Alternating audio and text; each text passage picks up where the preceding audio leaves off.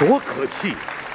大家说，哎呦，王刚，你怎么能想出这么一个主意？我说特偶然，我那时候一人过日子，在一个人在家就很随便。我约了一个一个当时一个写剧本的到我家来玩玩，可是我这时候正好要需要出工，我是坐在马桶上，我又怕他来，我就把洗手间门这么开着，然后把外边那个门呢也都开着，我就在这儿，哎，他果然就在这个时候来了。叮咚叮，我说进来吧，门开着呢，你你没锁。他进来了，进来一看我在这抬着个头，哎呀，你要在这干嘛呀？我说没办法，我怕耽误耽误你进来，对不对？我只能这样啊。我把这个忽然想起，我用这儿了多好啊，结果就变成了这么一个一个场景，刻画的入木三分。对呀。其实我们刚刚说的是角色，大家非常喜欢和珅这个角色，但是王老师其实他是一一直在拍戏，塑造不同的角色，所以我在想，我们这么喜欢和珅这个角色，您最喜欢、最满意的是自己塑造的哪个角色呢？这个可能有些朋友没有看过，我自己认为我演过的，我自己最满意的一个角色，而且我特别希望更多的观众看看这部戏，看看这个角色。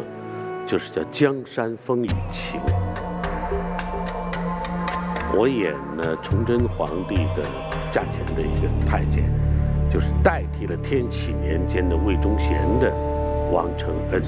对，历史上也就是当紫禁城被李自成的军队攻进去以后，崇祯皇帝从神武门出来就奔了眉山，就现在的景山，只有一个人陪着他出来的，就是王承恩。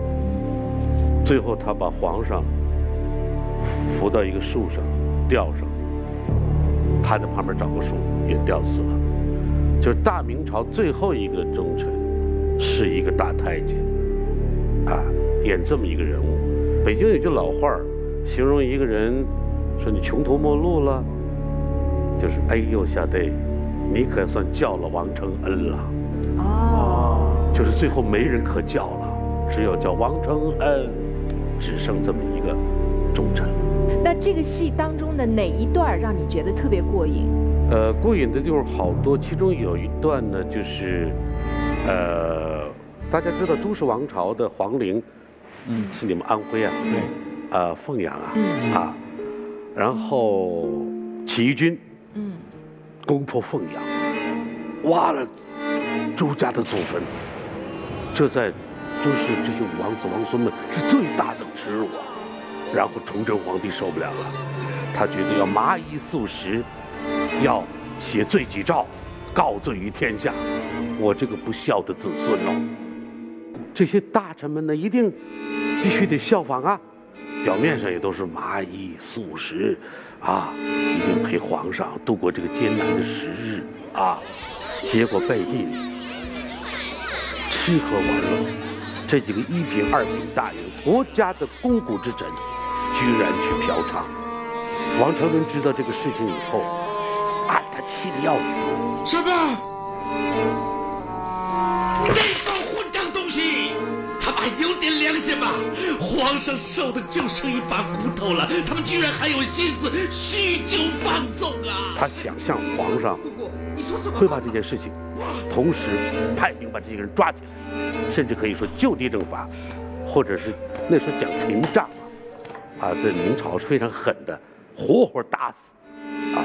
但是王承恩沉吟片刻，公公不行，自个儿就带了个小太监，到这家姑且我们就叫妓院，啊，就进来了。结果这几个大臣真没想到王公公来了，吓坏了。